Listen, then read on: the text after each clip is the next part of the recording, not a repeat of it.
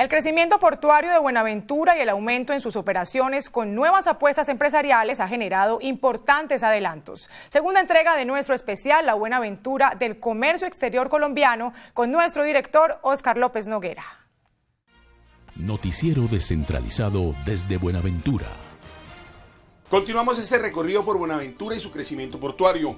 Al observar este conglomerado del comercio exterior que reúne cerca del 70% de las importaciones y exportaciones del país, desde sus puntos más altos, se pueden observar tres grandes concentraciones de grúas de colores determinados. Las naranjas son las del puerto de Agua Dulce, inaugurado hace un año. Las amarillas, las de la sociedad portuaria, que ajusta 24 años de operación. Y las azules son las del TCUEN, que cumple 7 años. Tres puertos en operación las 24 horas del día, los 7 días de la semana y en los cuales más de 4.000 tractocamiones recorren sus calles cada jornada. Ese 20% de contraprestaciones que hoy hacen todas las sociedades que están acá suman más de 20 millones de dólares al año. Eh, son recursos que van a las arcas o al fisco local. El otro 80% va al Envías, donde debe trabajarse en inversiones de conectividad. Y por eso también tiene la responsabilidad de la vía a Buenaventura, como también la vía acuática o marítima que es el canal. Una de nuestras escalas la adelantamos detrás de esta puerta, tal vez sin imaginarnos todo lo que encontraríamos tras superarla.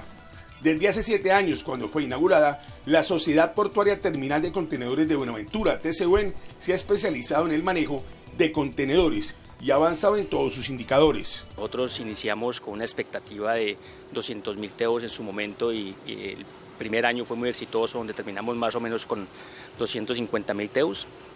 Ya acercándonos un poco más a, a, la historia presente, pues el 2017 fue un año donde terminamos aproximadamente con 350 mil, 360 mil teus, eh, viniendo de, de, pues de un pasado pues donde hemos tenido la oportunidad de seguir creciendo continuamente. Desde este puerto se despachan productos hacia 50 países. El crecimiento está relacionado claramente con el, eh, el desarrollo del, de los diferentes tratados de comercio exterior, el desarrollo de los exportadores e importadores que tienen en la industria aquí en Colombia y eh, pues básicamente digamos el componente muy parecido entre importaciones y exportaciones y uno puede decir que está en un 50-50.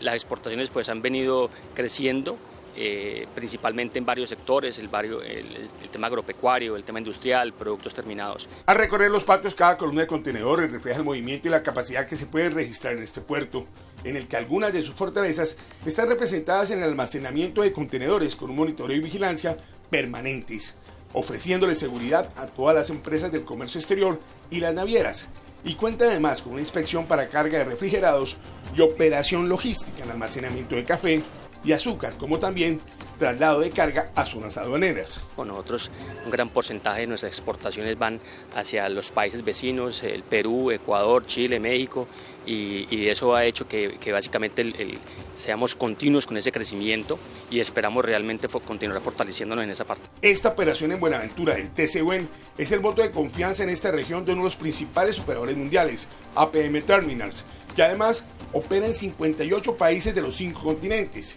y que junto al Grupo Empresarial del Pacífico, GEPSA, han forjado esta historia portuaria que se levanta cada día en medio de estas grúas azules y el empuje de los bonaverenses y la búsqueda de un mejor horizonte para el comercio exterior como pilar para el desarrollo regional.